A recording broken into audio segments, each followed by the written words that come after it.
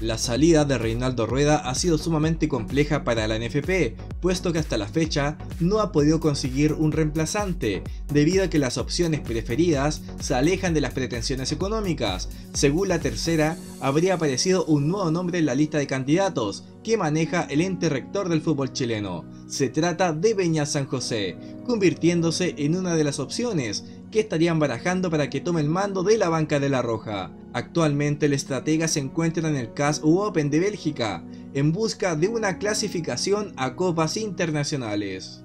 La prensa argentina aseguró que Augusto Batalla termina su préstamo al finalizar la temporada con O'Higgins y tendrá que regresar a River Plate, una situación que no es favorable para el arquero, ya que no lo tendrían entre sus planes. Esto obligaría al Meta a buscar una renovación con los celestes, los cuales piensan en retenerlo, pero todo dependerá de las negociaciones con River Plate y lo que quiere el técnico de O'Higgins para la próxima temporada.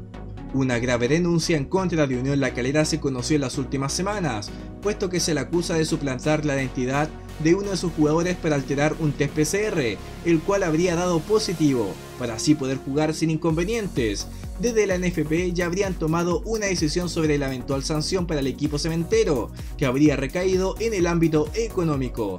De esta forma, se descarta tajantemente una resta de puntos y sobre todo una desafiliación aunque hay que destacar que la investigación del Tribunal de Disciplina y de la Fiscalía Regional de Valparaíso marchan por veredas opuestas. La Universidad de Chile a la hora de contratar jugadores está apelando a la juventud.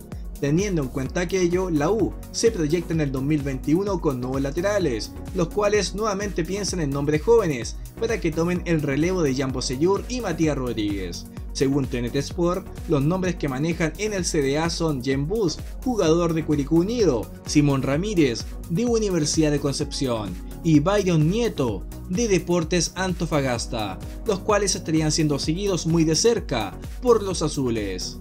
Daniel Morón, en conversación con el medio de la cuarta, se mostró entusiasmado con la idea de traer de regreso a Claudio Bravo al elenco albo, en donde sostuvo lo siguiente. Sería un lindo desafío para la institución que a mediados de año, cuando se termine la Liga Española, iniciemos las gestiones para traer de regreso a Claudio Bravo y así poder aprovecharlo en su plenitud. Incluso Morón cree que es posible encontrar el financiamiento para que Bravo llegue al fútbol chileno. Habrá que buscar una manera de entusiasmar a Claudio para que venga y una fórmula económica para que esto suceda. Sabemos que no solo es nuestro deseo, pues muchas empresas les interesa tener a Claudio de regreso en el Monumental y se puede armar algo interesante. El vínculo entre Jefferson Soteldo y Santos se extenderá hasta el año 2023. Sin embargo, aún queda tarea pendiente para el equipo brasileño en relación a Soteldo, porque arrastra una importante deuda con Guachipato, pues aún no le paga la mitad de los derechos deportivos. Cabe mencionar que a mitad del año pasado, los de Talcahuano ofrecieron a comprar el 50% restante de su pase, además de retirar la demanda en la FIFA por la deuda, pero fue el propio jugador quien rechazó el trato. Todo apunta que el elenco paulista espera llevar a cabo una gran venta por el venezolano y así aprovechar de saldar lo que le debe a Huachipato.